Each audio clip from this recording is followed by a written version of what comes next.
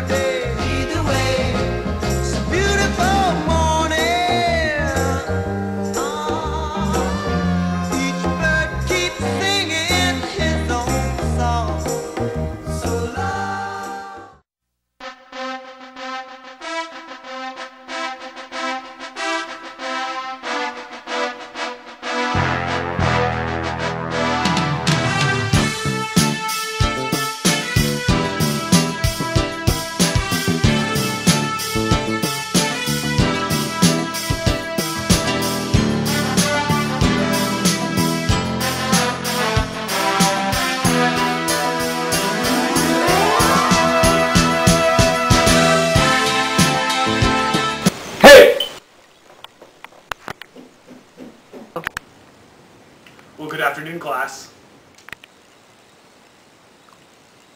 It's not gotta be pretty, but.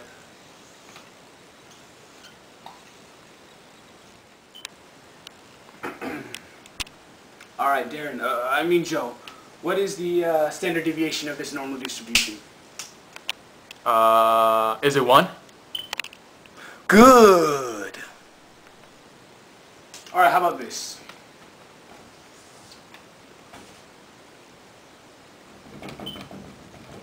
Who can tell me what's the strength of this scatter plot? Joe. It's very robust. Okay, class. Now tell me, why would it be unrealistic to predict past this point? Past this point right here. Hmm? Um, because because you shouldn't extrapolate outside of the domain of the data. Well, good golly, Miss Molly, that's correct. Uh, okay, new kid. Tell me what is the association of the scatter plot? Uh, a good one? No, no, no, no, no, no, no, no. Positive. Positive. Say positive. Positive. Okay, now someone tell me the least squares regression equation of this. In context. Um, for every one inch increase in height, it averages an increase of 1.2 pounds. Good. Uh, okay, guys. Who can give me an example of a positive trend that would show up on a graph? Oh, you mean like a fashion trend? Like your shirt? No! Who can tell me if this residual is positive or negative? New kid, you give it a try. Positive. No!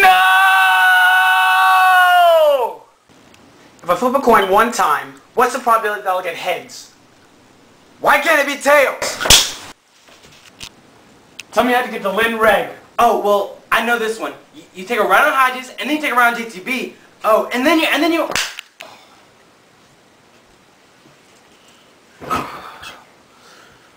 I need a hoagie.